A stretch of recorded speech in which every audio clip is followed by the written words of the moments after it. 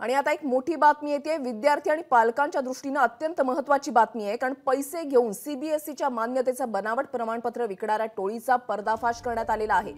मंत्रालयातील शिक्षण विभागाच्या अधिकाऱ्यांच्या बनावट सह्या केल्याचा प्रकार आहे.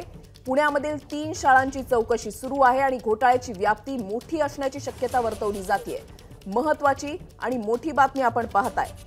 मंदार गोंजारी आमचे प्रतिनिधी आमच्यासोबत आहेत. अधिक माहिती जाणून घेणार आहोत. मंदार हा संपूर्ण प्रकार काय आहे आणि कारवाई कुठपर्यंत पोहोचली आहे?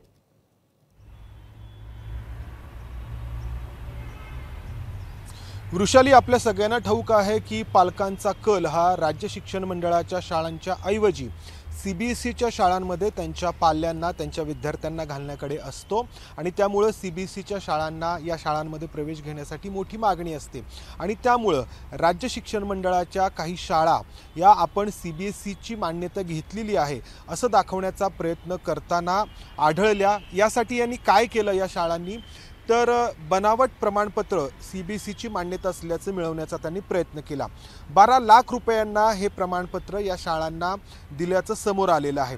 हे प्रमाणपत्र कसं बनवण्यात आलं? तर ज्या शाळांना आधी मान्यता आहे सी बी एस सीची अशा शाळांचा इनवर्ड क्रमांक घेण्यात आला आणि त्यावरती ज्या शाळांना हे बनावट प्रमाणपत्र द्यायचं होतं त्यांचं नाव टाकण्यात आलं आणि त्याहून गंभीर बाब म्हणजे मंत्रालयातील वरिष्ठ शिक्षण विभागातील अधिकाऱ्यांच्या सह्या त्यावरती घेण्यात आल्या. मंत्रालयामध्ये मंत्रालयामधल्या शिक्षण विभागाच्या अधिकाऱ्यांना ही गोष्ट लक्षात आल्यानंतर पुण्यात असलेल्या शिक्षण उपसंचालकांना याबाबत चौकशी करण्याचे आदेश देण्यात आले.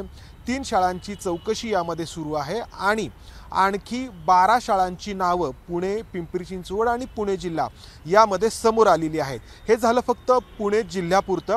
मात्र अशीच चौकशी त्या त्या जिल्ह्यांमध्ये प्रत्येक जिल्ह्यांमध्ये करायला हवी असंही शिक्षण विभागातील वरिष्ठ अधिकाऱ्यांचं म्हणणं आहे. कारण संपूर्ण महाराष्ट्रामध्ये अशी बनावट प प्रमाणपत्र बनवून देणारी टोळी कार्यरत असल्याचं समोर आलं आहे यामुळे सरकारची तर फसवणूक हो होणार आहेच. त्याचबरोबर या शाळांमधले शिकणारे जे विद्यार्थी आहेत त्यांचे जे पालक आहेत त्यांची देखील फसवणूक होणार आहे. त्यामुळं प्रकरण अतिशय गंभीर आहे.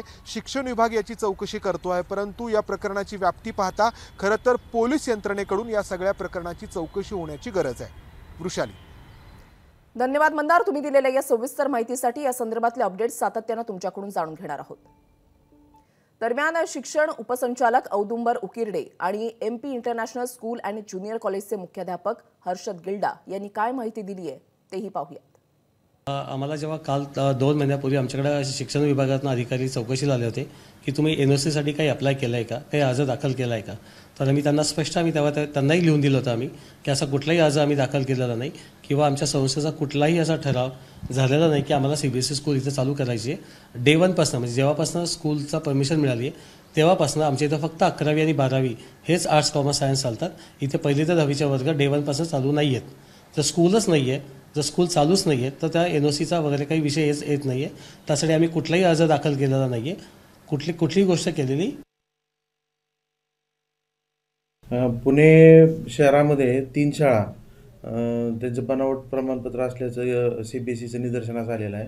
ह्याच्यामध्ये M P international Namo RIMS आणि क्रिएटिव्ह एज्युकेशन यांचं सी बी एस सी शाळेसाठीचं जे एन ओ सी प्रमाणपत्र असतं ते प्रमाणपत्रच बनावट असल्याचं निदर्शनास आलेलं आहे. तसं मंत्रालयाने चौदा जुलैला आम्हाला तसा आदेश दिलेला आहे की हे आमच्याकडून निर्गमित झालेलं नाही आहे.